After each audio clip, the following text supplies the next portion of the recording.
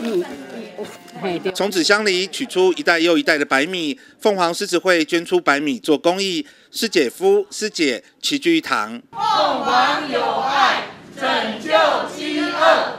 每包白米有三公斤装，选用台湾的优质好米。疫情趋缓，凤凰狮子会持续做公益。会长何家化以个人名义捐出了一百包的白米，发起了拯救饥饿社会服务。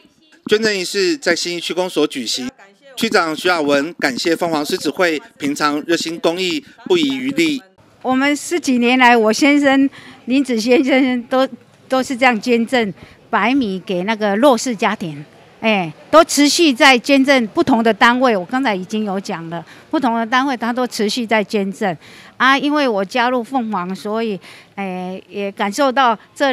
这两年，我们许区长啊，他都对这个贫困者的那个深切的付出，所以哈，就借由那个许区长，诶，嗯，把白米赠送给那个需要帮助的家庭。我想首先还是要再一次特别感谢我们何家化会长所带领我们所有的凤凰狮子会，我们所有的师姐哈，呃，这个热心公益哦。那我想我们呃会将这个三百斤的这个白米哦，捐赠在我们所有我们新一区需要的这些弱势的家庭那包当然。这个包括我们的中低收入户等等哈，只要有需要，我们公所都一定会来发证啊！再一次要感谢我们凤凰狮子的热心公益哦。本身也是凤凰狮子会会友的市议员何淑平及创会会长蔡美玉一同出席捐赠仪式，强调凤凰狮子会是一个大家庭，持续做公益已经变成一项传统。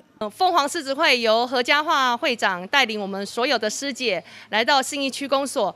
因为他们知道说信义区公所常常都是在呃有一些就是帮助一些贫寒的家庭，然后我们何会长这次捐赠三公斤，共一百包的白米以及一百杯的饮料哦，来呃帮助我们这个呃需要帮助的家庭。那也希望借由这一次人机己机能力己逆的精神，然后抛砖引玉，能够让我们社会大众如果有善心的人士，也可以一起来加入我们。一一路以来，已经吼二十四届啊！啊，一路行来吼，所有的姐妹吼，大家都团结的。我算阮大，嘛算大家庭啦。五十个姊妹啊，五十个婿子，算都都大个啦，嘛袂偌少吼。啊，感谢咱婿婿子啊，一路收听。若无婿子啊吼，阮婿子嘛无法度做啊遮好。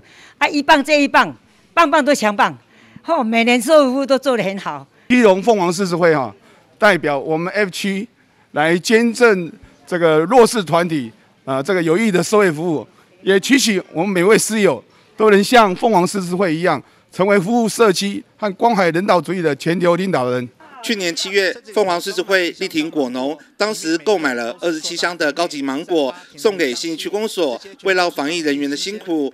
今年持续做公益，发起了拯救饥饿社会公益，希望用实际行动，在疫情趋缓之际，帮助弱势免于挨饿受苦。记者黄少明、金融报道。